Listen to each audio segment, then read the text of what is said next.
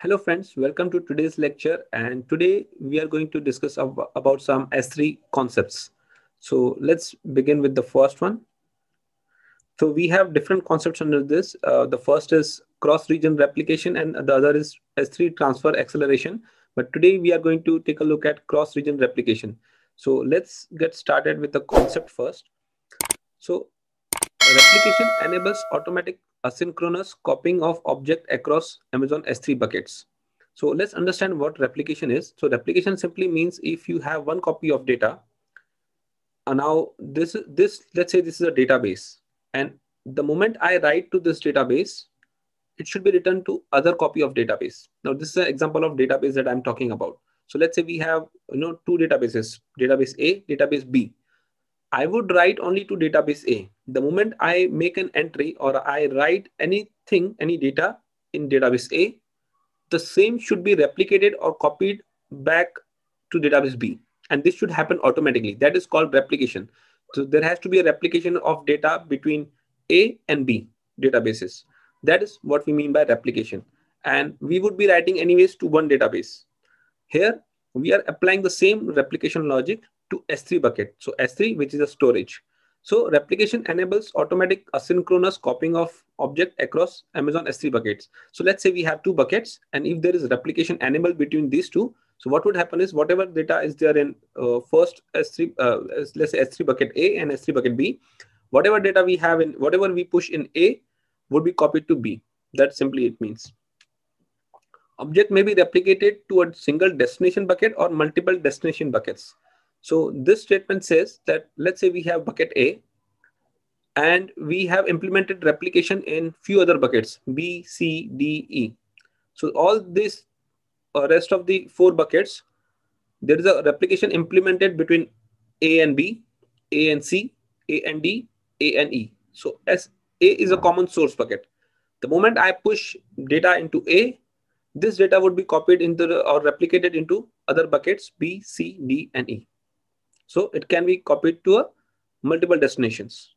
To single destination or multiple destination, you can say. Destination bucket can be in a different AWS region or within the same region as the source bucket. Now, destination bucket, uh, um, in IAM also we studied like there are different regions. So AWS services are, you know, spread into different regions and you can have while S3 is uh, global service, S3 bucket is global service, but you can create a bucket in different regions. Like in Asia, we have Mumbai and a few other as well. Um, but uh, in US, we have multiple. We have US East 1, US East 2.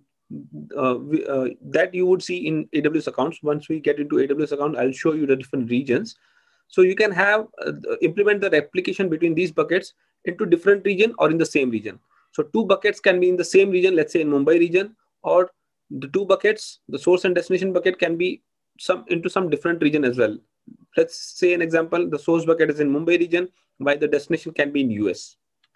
Buckets that are configured for object replication can be owned by same AWS account or different AWS accounts.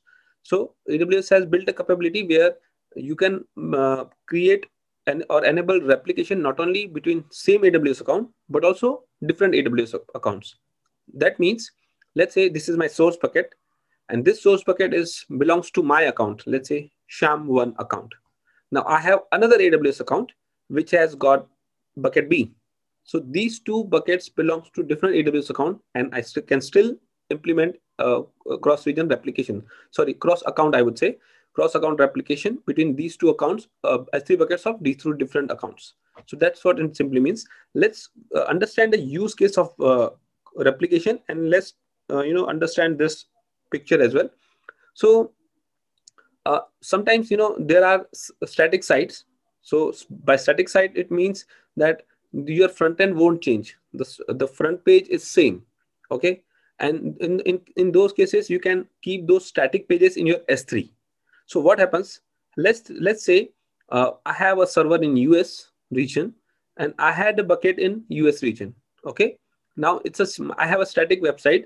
So all the content is in uh, us region and uh, my static website accesses the con content from S3, which is again in US region.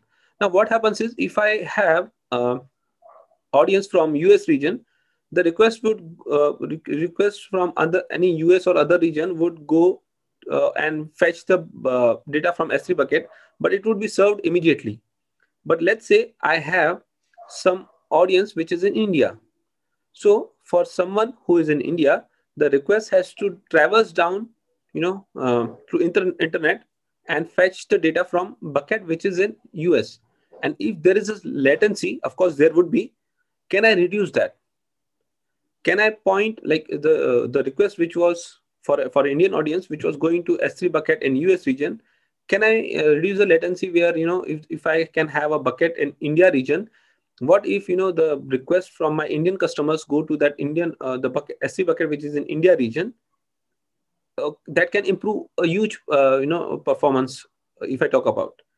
How how do i make this happen? So what we can do is we can create another bucket in in india region. So i'm sorry for this map. Uh, you can see the bucket is bit above but let's assume this bucket is in uh, india region. And what we would do is so we have this bucket a and this assume this as bucket b. We would uh, create uh, replication between these two buckets. Now, what would happen is when I'm writing, when I'm pushing some data, I would simply push the data into my source bucket. This is bucket one. But the moment, since the replication is implemented, the moment I push data into this bucket one, it would be immediately copied to this bucket two. And that would happen automatically. So some uh, the bucket which is in India. And um, by using CDN and uh, those logics, of course, I can do that. You know, someone accessing uh, uh, someone uh, user or, or, audience accessing from India, the request can be diverted to this uh, bucket in India. Uh, so that can be done um, implemented to other logic. So we can talk about those in details. But the point was like if we could have a single, you know, instead of having a single bucket, if we can have multiple buckets based on the region from where the data is accessed, it would you know help us a lot in reducing the latency of for serving that request. So this is where the replication helps. And cross region is simply means you can have buckets this replication within region or within different region as well. That's why it the term is called cross region uh, replications so this is what we had uh, for today's lecture. Hope you enjoyed this one. Let me know your thoughts and your queries in the comment section. See you in the next section. Goodbye